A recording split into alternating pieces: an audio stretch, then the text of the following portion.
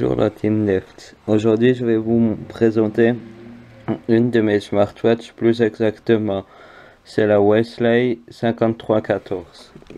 J'ai pu tester la smartwatch depuis environ un mois. J'en suis super content pour le prix. Bon moi je l'ai reçu gratuit d'une banque.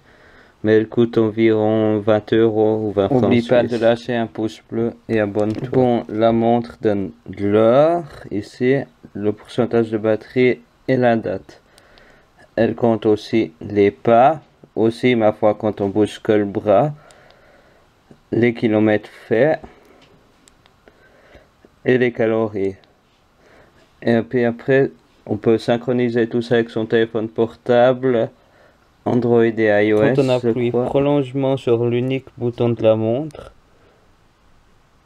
ça va activer le mode sommeil qui va compter le temps que ça nous prend pour dormir, qu'on dort. Puis après, le matin, quand on se réveille, on reclique, prolonge même sur le bouton et ça va arrêter. Je pense qu'il faut cliquer pour environ 5 ou 6 secondes. Mais je, pense qu'on doit d'abord cliquer une fois et après cliquer prolongément. Et voilà, maintenant elle est éteinte. Quand on, entend le vibreur, elle est allumée ou On me voilà là sur l'application de la montre. Pour synchroniser la montre avec l'application, il suffit d'avoir la montre vers l'appareil. Allumer la montre. Sur la montre, il y a un petit logo Bluetooth qui s'affiche. On doit attendre un moment. Puis là, il a synchronisé toutes les données.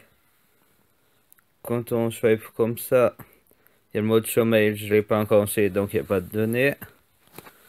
Après, il y a certains modèles qui ont les pulses, mais moi, je l'ai pas.